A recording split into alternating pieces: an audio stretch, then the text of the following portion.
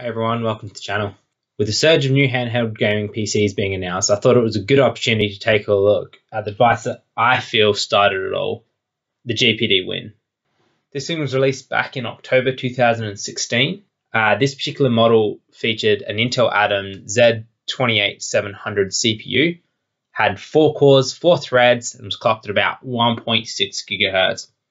It also came with 4 gigabytes of LPDDR3 RAM 64 gigabytes eMMC storage, has a 5.5 inch 720p screen, uh, and it has a 6,700 milliamp hour battery, which would net you around six to eight hours of usage, depending on what you were doing with it. At the time, you could get all this for about 700 Australian dollars, which works out to roughly 500 US dollars. So, with all that said, let's see what this beast can do all the games I'm going to test here today are just going to be running on default settings.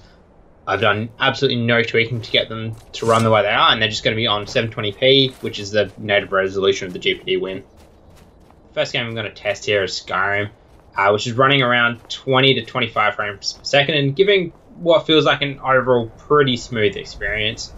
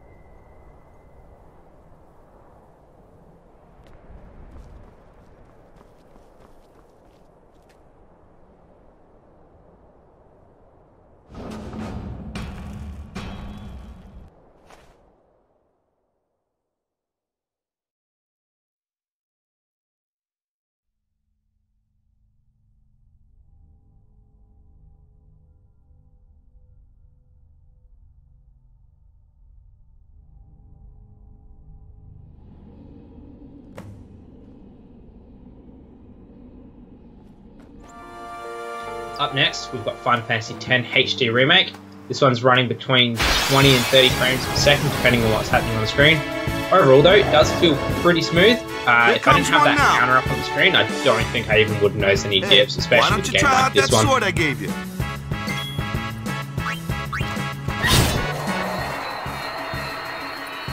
No problem. Not too shabby. You kept up with him pretty well. Might make a good guardian someday.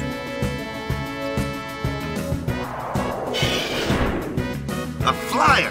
My kind of customer.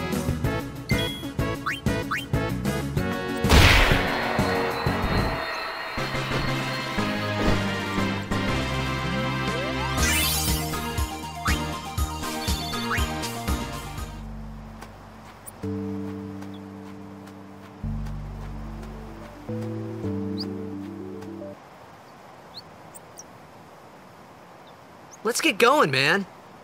We're gonna wait. Huh? Are you ready?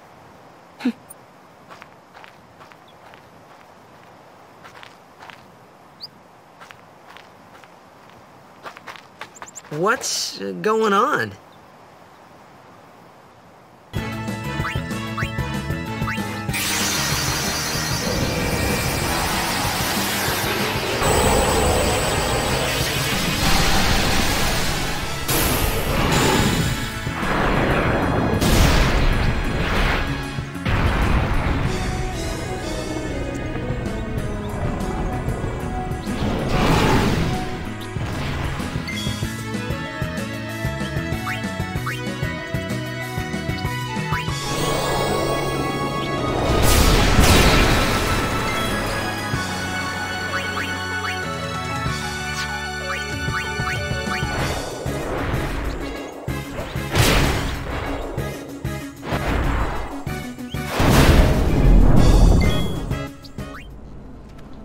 The next one we have here is Dragon Age Origins. This one's running around 20 frames per second. And once again, even with that low frame rate, it doesn't really feel that bad to play. With that being said, There is a reasonable pause every time the game tries to autosave, um, but it's really nothing game breaking.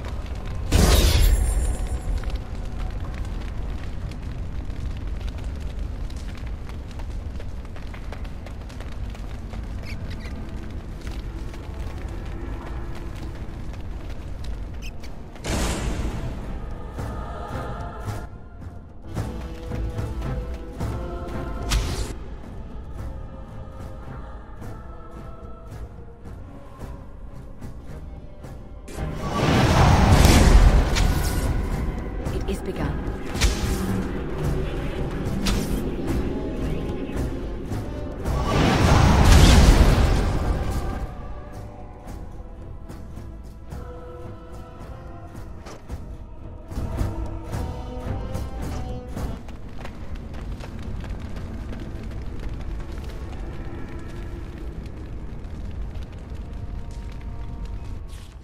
There is a spirit of rage.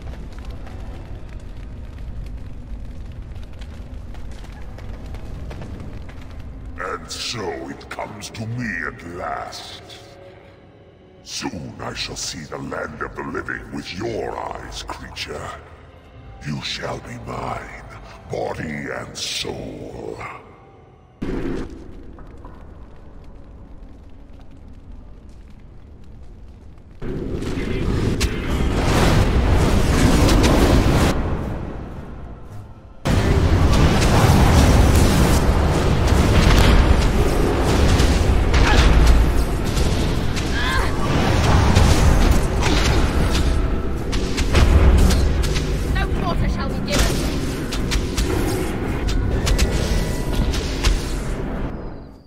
Finally, we've got Fable Anniversary Edition.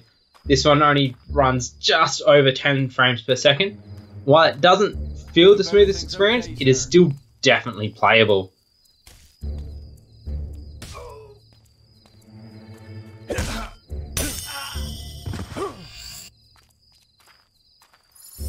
That's the way to do it, Master.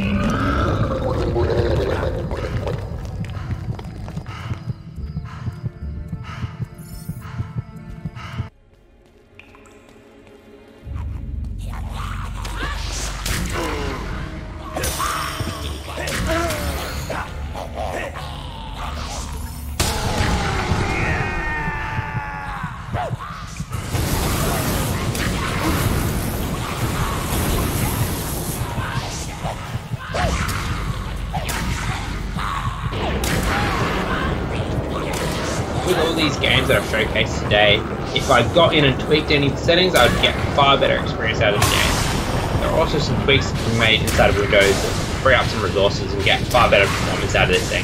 I might do some of that in a later video, but for now I just wanted to just show an out of the box experience with it just on default settings.